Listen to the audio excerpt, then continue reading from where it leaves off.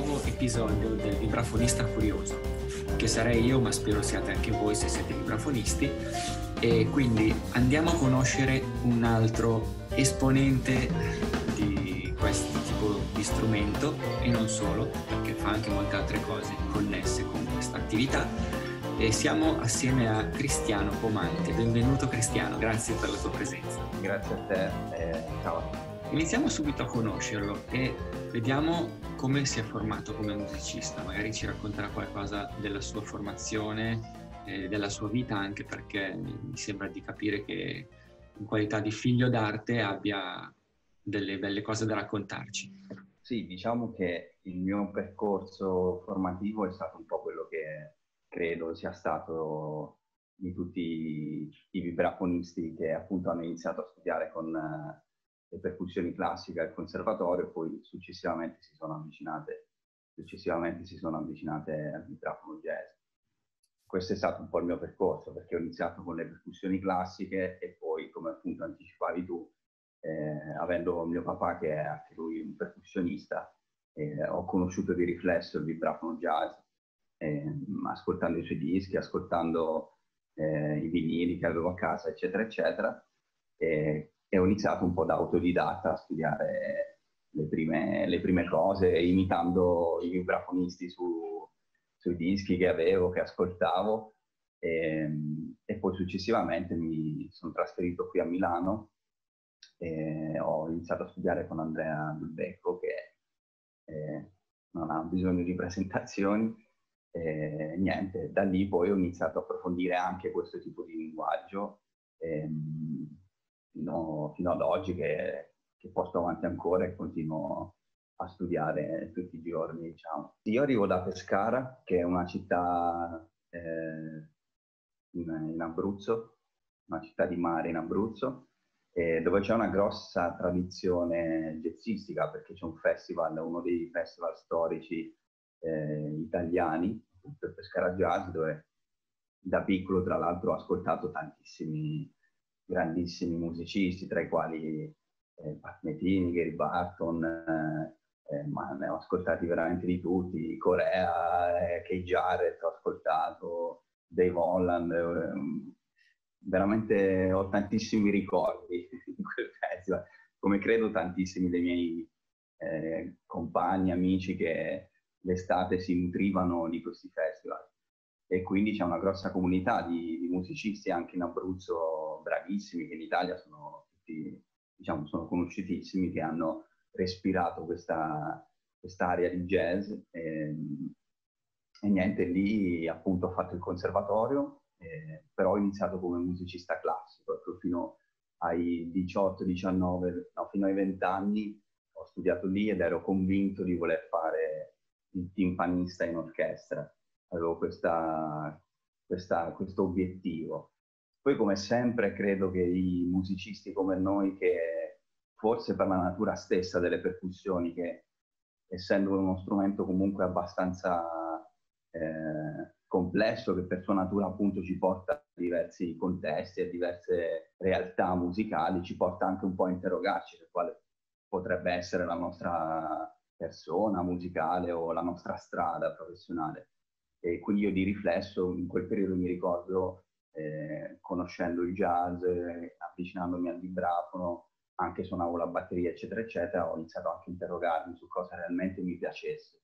Quindi ho iniziato a spostare il focus dallo strumento alla mia personalità, alla mia identità artistica e a quello che veramente potesse rappresentarmi.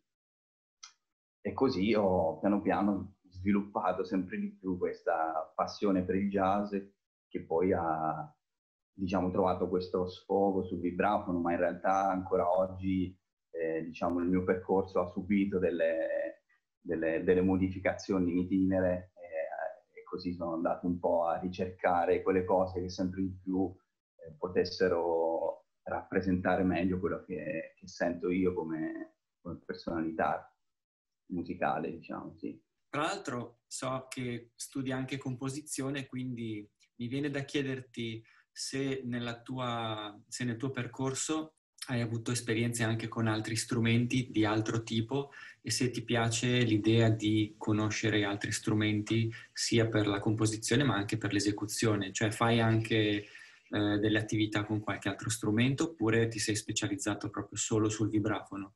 Allora, con il tempo chiaramente, come sappiamo, chi, fa, chi suona gli strumenti a percussione a un certo, po- un certo punto poi deve un po' scegliere, a meno che non, non si decida di, di, essere un percussionista in orchestra, che bene o male un po' si suona tutto, però diciamo chi come noi, e io ho fatto questa scelta, decide di un po' lasciare il mondo dell'or- dell'orchestra, a un certo punto fa una scelta, sceglie di suonare o magari solo la batteria o solo il vibrafono. Quindi io con il tempo ehm, mi sono focalizzato completamente sulle percussioni a tastiera, che sono oggi il mio strumento. E poi ho sempre portato di pari passo lo studio del pianoforte ma questo perché, eh, come tanti di noi vibrafonisti, sappiamo benissimo che lo studio del pianoforte ci aiuta ad avere una visione della musica che un po' trascende il nostro strumento poi e ci permette di guardare in un senso diverso, musicale, eh, anche vibrafono. Poi per quanto riguarda lo studio della composizione, appunto, come dicevo prima, è stato un percorso che piano piano mi ha portato a scoprire realmente cosa per me significasse fare musica. Io mi ricordo anni fa facevo l'errore appunto di focalizzarmi troppo sullo strumento. Invece ho capito proprio che a un certo punto gli strumenti sono degli strumenti, cioè è come la parola stessa ci dice. E quindi spesso ci, concentriamo sui mezzi ma non abbiamo un reale scopo, no? E io invece ho invertito il mio punto di vista, ho iniziato a dire ma i miei scopi quali sono? E quali sono i mezzi che mi servono per raggiungere i miei scopi? e come devo, diciamo, eh, usare questi mezzi per raggiungerli, no? E i miei scopi ho visto che erano più ampi del, del vibrafono, mi, avevo una visione musicale che almeno adesso arrivato a questo, a questo punto della mia, eh, diciamo, del mio percorso, eh, mi sembra sia più stratificata la mia idea di musica. E quindi la composizione, che è una cosa che ho sempre portato di pari passo, prima da un po' da, la facevo così per gioco, mi ricordo quando ero ragazzino, mi sedevo al pianoforte, 16-17 anni, suonavo, improvvisavo i miei primi pezzi e li, magari li tiravo giù, no? Però non avevo la benché minima idea di che cosa significasse realmente concepire una musica in funzione di una forma, in funzione di strumenti specifici che potessero realizzare poi la mia idea strutturale di musica. E questo con il tempo, pian piano, si è andato eh, fortificando no, questo pensiero fino a portarmi prima a, ad approfondire lo studio della composizione da autodidatta e poi da intraprendere questo percorso. Ti interrompo, scusami, hai toccato proprio un tassello che volevo chiederti, mi hai anticipato, volevo farti proprio una domanda su questa cosa, allora ne approfitto. Mi chiedevo per te che importanza avesse a questo punto del tuo percorso la forma, cioè qual è il senso della forma per te in campo musicale, perché avendo avuto questo background con tutti quegli ascolti, con tutti quegli stimoli anche dal vivo, e poi avendo avuto la possibilità di fare questa introspezione, secondo me il risultato è molto interessante, vorrei che ce ne parlassi. Allora, questa è una domanda molto difficile, perché quando si parla di forma si parla di qualcosa, dal mio punto di vista, che non è definito la forma si definisce strada facendo, anche quando un compositore scrive, magari parte con un'idea di base chiaramente che è quella di una macrostruttura, quella di scegliere degli strumenti e diciamo a grandi linee di utilizzarli in un certo modo, no?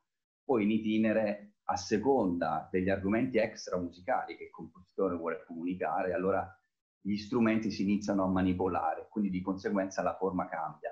Noi siamo abituati a utilizzare delle forme prestabilite quando suoniamo. Viene in mente lo standard, la forma canzone, l'anatol, il blues. Sono forme prestabilite dove noi ci muoviamo, impariamo a muoverci. Invece di usare una forma e manipolare una forma per raggiungere poi qualcosa che comunicativamente sia al contrario, no? dal punto di vista musicale, penso sia più difficile. E quindi quello che il, il compositore deve fare, ma anche lo strumentista quando suona, perché per me scrivere un brano è come quando improvviso, è come se avessi un grosso bagaglio dove ho dentro delle cose e, e le, le, prendo a seconda di quello che mi serve in quel momento, no? o le lascio nel bagaglio. È la stessa cosa fa il compositore, analizza, studia attraverso le partiture che sono come dei testamenti che i musicisti ci lasciano, no? dove tu hai la possibilità di andare a vedere a livello orchestrale, a livello formale, a livello semantico, a livello contrappuntistico, su tutti i livelli che vogliamo, che cosa il compositore ha fatto cercare di capire un po' come la sua forma eh, si sia generata sia dal punto di vista superficiale che dal punto di vista interno.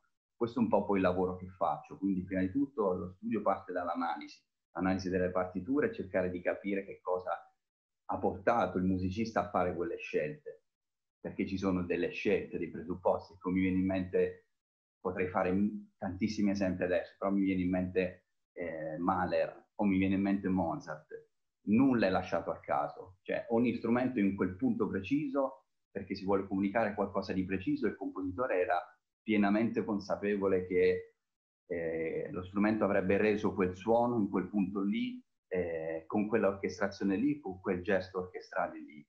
Poi chiaramente nel caso di Mahler mi viene da dire la musica ha talmente tanti rimandi extramusicali, tanti rimandi eh, psicologici, esistenziali, tante finezze dal punto di vista orchestrale.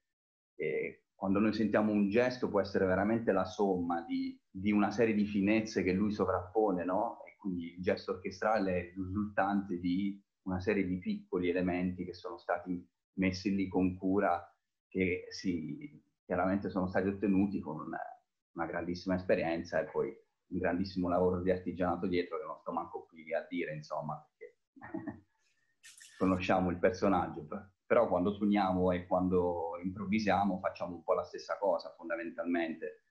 Cerchiamo di dare una forma alla nostra esecuzione, alla nostra performance musicale, scegliendo una vettorialità, una direzionalità no? strumentale. Quindi scegliamo un, un argomento strutturale che può essere un'idea ritmica, può essere un'idea dinamica, può essere un'idea fraseologica, e cerchiamo di mettere insieme questi elementi, prendendo un po', attingendo ai ricordi che abbiamo, come dicevi tu, degli ascolti dal vivo, anche delle analisi che abbiamo fatto, perché quando studiamo un solo di Charlie Parker o di, di Coltrane o di Miles o di Gary Barton o di Mike Manieri, facciamo esattamente la stessa identica cosa. Quindi non parliamo tanto di una, un'estetica, ma di un approccio formale. Questo, questa è la risposta che mi sento di dirti. Non esiste una forma, esiste un approccio formale, secondo me. Sì, infatti questo aspetto, a mio parere, per quel che ho potuto ascoltare dei tuoi lavori, si, si può sentire, cioè tangibile. Se si ascoltano le tue prime registrazioni, poi ti ho visto anche dal vivo, e si ascolta il tuo ultimo lavoro, di cui poi sicuramente parleremo, questo aspetto si sente tantissimo è diventato secondo me molto efficace in questo tuo ultimo lavoro, di cui poi parleremo. A me personalmente fastidio quando ascolto un, eh, uno strumentista o un compositore, un brano, quando la musica non ha una vettorialità, non ha una direzionalità. Questo non significa che sia un male o un bene, eh? non sto a dire, può essere che una musica eh, parta con il presupposto di non avere nessuna direzionalità, però dal mio punto di vista mi piace quando la musica ha un contatto eh, narrativo, fraseologico, comunicativo, c'è una continuità narrativa fraseologica, no? tu senti che c'è un racconto e quindi si parte da un punto per arrivare ad un altro punto, quantomeno ha dei presupposti che guidino un po' l'ascoltatore, sempre perché l'ascoltatore secondo me deve un po' riconoscersi in quello che fa, altrimenti si crea una, una chiusura e spesso succede eh, in tutti i generi musicali. E questo aspetto riguarda anche la parte tecnica, perché eh, come mi dicevi, le tue scelte tecnico-strumentali sono sempre strettamente legate alla tua visione compositiva. Sì, nel senso che con il tempo ho imparato a osservarmi da diversi punti di vista, che è un po' quello che dicevamo prima, no? Anche quando suono o quando improvviso, mi cerco sempre di mettermi in una situazione di partenza, no? E questo è un po' anche quello che spesso mi ricordo si diceva a lezione con eh, eh, Andrea. Datti un punto di partenza, un, un obiettivo di riferimento, no? E questo è quello che faccio quando suono. Eh, cercare di costruire qualcosa che non sia strettamente legato alla performance strumentale, altrimenti succede che lo strumento mi suona e non sono io che suono lo strumento. Quindi devo essere sempre io presente con la testa in quello che faccio. Questo significa anche avere il coraggio di fare delle scelte che magari anni fa non avrei mai fatto, cioè non faccio il solo, non suono per eh, due chorus, suono a due bacchette e suono tutte note lunghe. Lo faccio apposta proprio, cioè mi, per cercare di, di, proprio di scomodarmi, non so come dire, di mettermi in una condizione che non è la mia, la mia condizione naturale, ma questo non perché devo, devo fare il, eh, il fricchettone, diciamo così, semplicemente perché eh, secondo me un bravo strumentista deve mettersi in gioco, deve cercare, deve sperimentare sullo strumento. E questo per me significa improvvisare, non significa suonare un, una frase soltanto di Parker o, di, o fare un solo, eh, che ne so, incredibile con una pronuncia blues pazzesca. Anche questo per me significa improvvisare. Ho imparato con il tempo a darmi queste chance anche, no? E quindi spesso succede che nei live o anche quando studio a casa inizio a fare esercizi che cercano di mirare un determinato argomento musicale. E questo, da questo punto di vista devo ringraziare anche Ramberto Ciammarughi, che è un grandissimo pianista jazz, straconosciuto in Italia, con cui ho avuto il piacere di studiare per tanti anni. Facevamo proprio questi esercizi, mi ricordo. Cioè che cosa vuoi comunicare, a chi lo vuoi comunicare quando suoni e come lo vuoi comunicare. Si sente quando un musicista è presente con la testa e sa che cosa sta facendo e perché lo vuole fare e perché sta scegliendo quei mezzi per farlo. Ed è veramente convincente quando lo fa, no? Spesso invece noi cadiamo in delle strutture prestabilite che utilizziamo perché ce l'abbiamo sotto mano e, e le suoniamo così un po' abusandone anche, no? Allora, wow, faccio un double sticking sul, sul vibrafono perché mi piace e voglio fare delle scale veloci. Faccio un esempio banalissimo, eh, giusto per rendere l'idea. Eh, no, invece a quel punto devi devi fare un percorso che è più, più interiore dove ti metti un po' alla prova e cerchi anche di capire cos'è che realmente ti appartiene quando suoni, che ti rende efficace. Questo mi serve, questo mi serve quando suono, che la mia musica sia efficace, non che sia bella, brutta o eh, quello lo diranno le altre persone, non lo so, ognuno lo filtra dal, dal proprio punto di vista, però se la musica è efficace questa è una mia responsabilità, lo vivo con una grande responsabilità questo, questo discorso, non so se è stato chiaro quello. Sei stato molto chiaro, tra l'altro sono più o meno gli stessi concetti che anch'io ho scritto nel mio metodo all'inizio, proprio per, per dare l'importanza del, della musica come veicolo di una presenza, deve esserci qualcuno. Quindi lo strumento come strumento, ma anche la forma come strumento per esprimersi, sempre in divenire, chiaramente.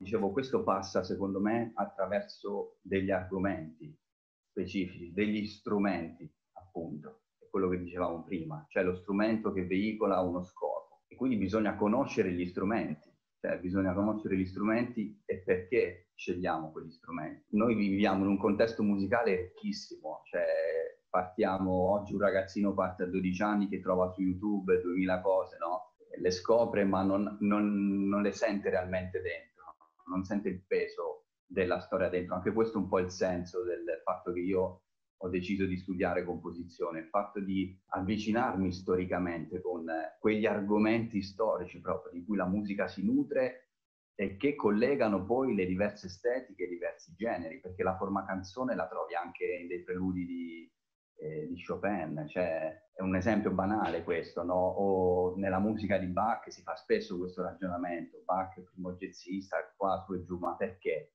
Cioè andiamo a vedere che cosa significa questa cosa, cioè in che senso, come scrivere, come, come funziona la forma, che significa la fioritura in Bach, nella musica barocca, che significa l'imitazione, che significa la progressione, cioè che sono concetti che noi jazzisti conosciamo bene, eh? imitazione, progressione, eccetera, eccetera, eccetera, fioritura, perché alla fine l'improvvisazione è una fioritura di, di linee guida che noi scegliamo, non lo so, mi viene da dire questo. Secondo me uno deve fare questa ricerca storica per fare propri questi strumenti, questi mezzi, scusami, ma ci tenevo a sottolineare questo, questo argomento. Hai fatto benissimo. Allora adesso direi che potremmo dedicare la parte finale della tua intervista proprio in maniera specifica al tuo progetto che uscirà il 13 novembre, se non sbaglio, esatto. dal titolo Libero Pensatore. Quindi già il titolo mi piace e per questo motivo vorrei proprio sviscerare tutti gli aspetti, cioè puoi raccontarci come è nato, come l'hai composto, proprio anche i dettagli tecnici, come hai scritto le prime idee, come le hai rielaborate e come poi sei arrivato ai tre giorni di registrazione, giusto? Tre giorni mi dicevi, con questo mix master impegnativo. Insomma, raccontaci tutto sul tuo progetto Libero Pensatore. Allora, il titolo già eh, la dice lunga per certi versi, perché eh, è il titolo che io ho trovato più adatto per esprimere un po' questa mia filosofia di vita, perché per me la musica veramente rappresenta la vita, il mio approccio alle cose, eh, che può sembrare banale, ma non, non lo è, perché per me non è solo un lavoro, è proprio uno specchio di me stesso, del mio approccio alle cose. Ci tengo a sottolinearlo questo, perché poi quando suoniamo dobbiamo comunicarlo questo a chi ci ascolta, altrimenti non siamo veri, siamo delle macchine che fanno delle, delle cose, non so come dire. E quindi questo titolo rappresenta un po' quale approccio. L'idea appunto di mettersi sotto più punti di vista, no? Che sia un approccio artistico, cioè ovvero prendere delle strutture, utilizzarle in un determinato momento e poi abbandonarle per sceglierne delle altre. Il libero pensatore secondo me è una persona che è in continua ricerca, che costruisce che distrugge, che non ha certezza in questo senso, no? E cerca un po' di non di andare contro qualcosa, perché non è un, un essere liberi contro un'ideologia, non, è più una dichiarazione artistica la mia, mettiamola così, più un, uh, un tipo di approccio appunto alle cose. E, e, e, l'approccio secondo me vincente è proprio questo, quello di, eh, di avere il coraggio di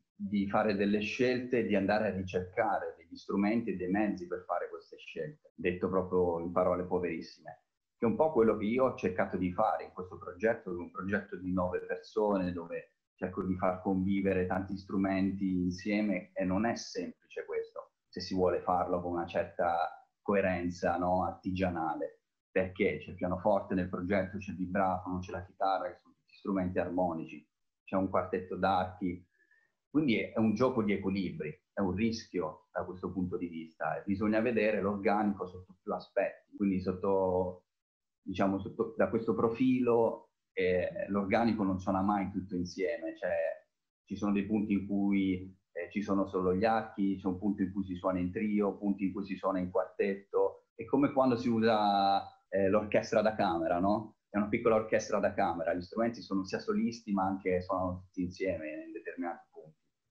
e quindi il primo ragionamento che ho fatto è stato quello appunto sull'orchestrazione, sul sound. Per me il suono si traduce prima di tutto in timbro e il timbro, come dicevo prima, può essere la sovrapposizione di più argomenti che sono non solo strumentali, con la scelta di alcuni strumenti specifici che appartengono a alcune famiglie, ma può essere anche una scelta di un accordo, può essere anche la scelta di ritmo, può essere anche la scelta di un approccio strumentale, no?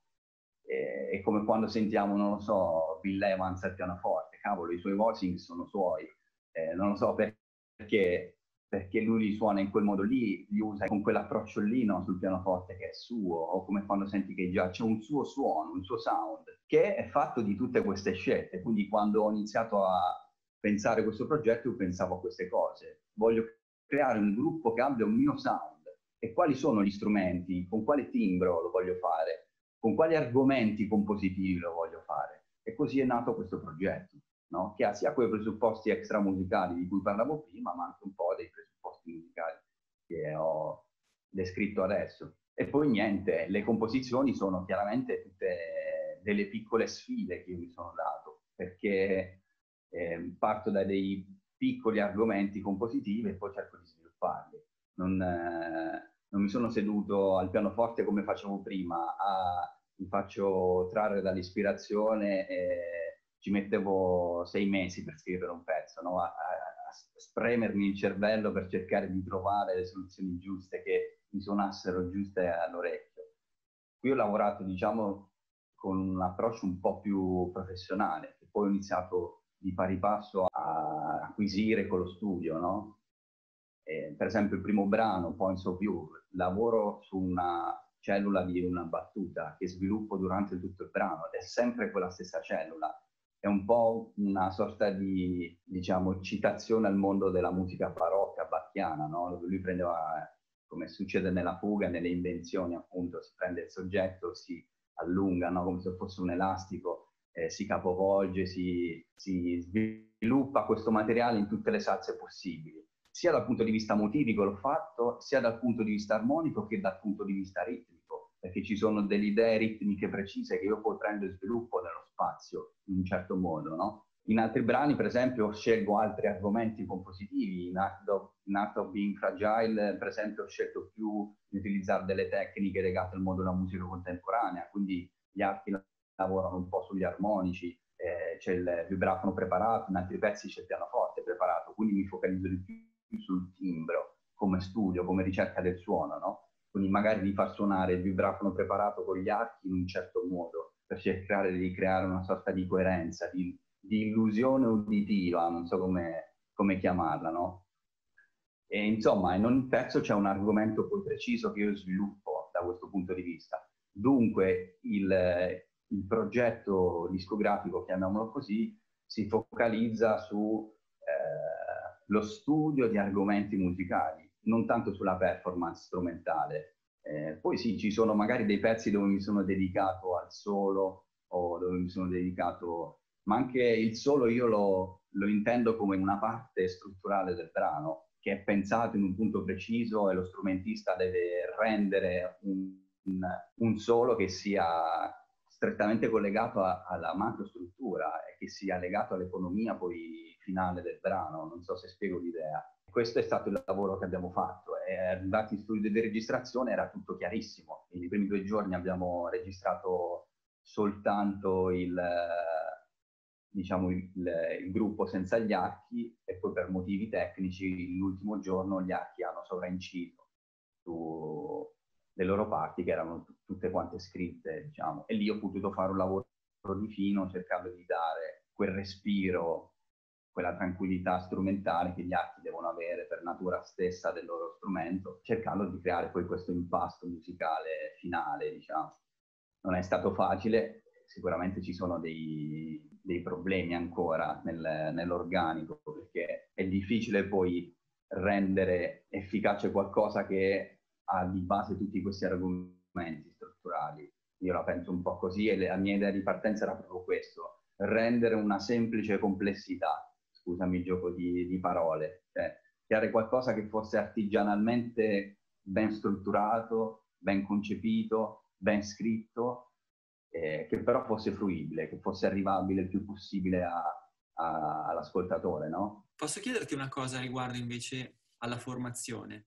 Perché mi sembra di ricordare che in questo nuovo lavoro ci sia comunque ancora il tuo quartetto di base, più altri strumentisti. Com'è stata la relazione con loro? Come ti sei trovato?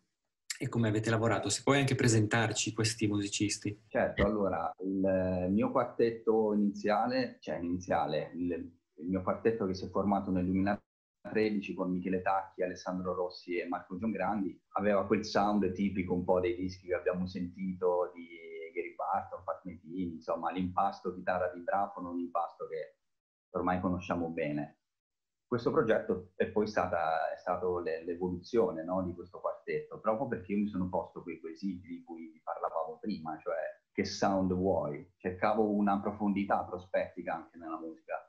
È come quando tu, faccio un esempio che chiaramente è lontano da me 3000 anni luce, però è come quando senti la musica di Wagner, c'è una musica stratificata, che è come, è come se ci fossero dei personaggi che escono di scena che entrano di scena che sono in primo, in secondo, in terzo piano, no? Immaginavo un po' così la mia musica. Volevo una musica che avesse una profondità prospettica in questo senso e quindi sentivo di allargare l'organico. E cosa ho fatto? Ho detto con chi vuoi allargare l'organico? Qual è il timbro che ti interessa? E sono sempre stato affascinato dagli archi perché sono degli strumenti che amo, che credo siano strumenti con delle potenzialità pazzesche. E così pian piano ho iniziato a cercare dei ragazzi e il quartetto d'archi che suona nel, nel progetto li ho completamente trovati da solo, cioè sono andato proprio a raccattarli per strada. Alessio Cavalazzi Il primo violino l'ho conosciuto una sera in un club che suonava con eh, degli altri musicisti, così ci siamo fermati lì a parlare, gli ho detto ma sai c'è un progetto, vorresti, vorresti suonare come... Insomma così li ho raccolti io per strada, manco si conoscevano e hanno iniziato a suonare insieme. Poi alla fine si è aggiunto, proprio l'ultimo ingresso si è aggiunto Claudio Filippini al pianoforte, che è un noto pianista jazz italiano, anche perché sentivo di avere la necessità di uno strumento armonico un po' più complesso, no? che avesse la forza ritmica e armonica del pianoforte, che anche un po' mi permettesse di sganciarmi dalla visione strettamente strumentale del vibrafono. Non so se è chiaro quello che voglio dire. Cioè permettermi di suonare scegliendo di incastrarmi compositivamente nei punti in cui voglio io e non di dover suonare sempre perché dobbiamo sostenere l'armonia, dobbiamo sostenere tutto quanto, no? Eh, che è quello che per esempio succede se suoniamo in vibrafono solo, se suoniamo in duo, in trio, in quartetto. E così si è sviluppato questo, questo nuovo progetto e il 13 uscirà questo album che è un po' il risultato di questo lavoro. Benissimo, ti ringrazio per questa tua intervista. Rimando i nostri ascoltatori al 13 novembre perché vale veramente la pena di ascoltare questo nuovo lavoro di Cristiano. Io ho avuto la fortuna di ascoltarlo prima e quindi posso garantirvi che è un lavoro molto omogeneo, compatto e veramente vi nutrirà lo spirito come, come tutti i bei lavori. Grazie Cristiano. Ciao a tutti, grazie a te, ciao.